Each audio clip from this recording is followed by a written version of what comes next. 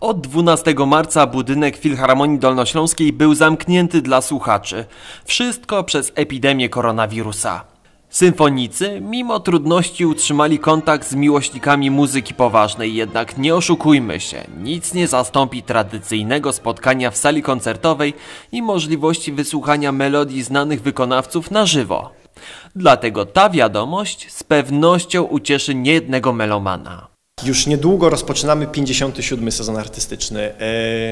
Wychodzimy z okresu pandemii, przynajmniej w muzyce, ponieważ no, e, staramy się wrócić do normalności. Staramy się, aby nasza publiczność miała możliwość normalnego uczestniczenia w życiu kulturalnym miasta. To jest, to jest niezwykle ważne, żebyśmy wszyscy mieli takie poczucie, że robimy wszystko to, co jest możliwe. Wobec czego już 11 września rozpoczynamy nowy sezon artystyczny. Nowe otwarcie zasługuje na wyjątkową oprawę muzyczną i o taką postarali się jeleniogórscy muzycy.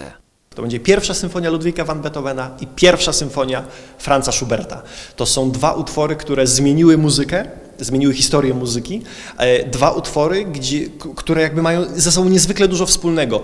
Nie jesteśmy w stanie dzisiaj powiedzieć, czy Schubert inspirował się pierwszą symfonią Beethovena wprost, pisząc swoją muzykę, jednak w obu tych symfoniach jest niezwykła ilość punktów wspólnych. Do nabycia są jeszcze bilety, jednak trzeba się spieszyć. Liczba miejsc jest ograniczona.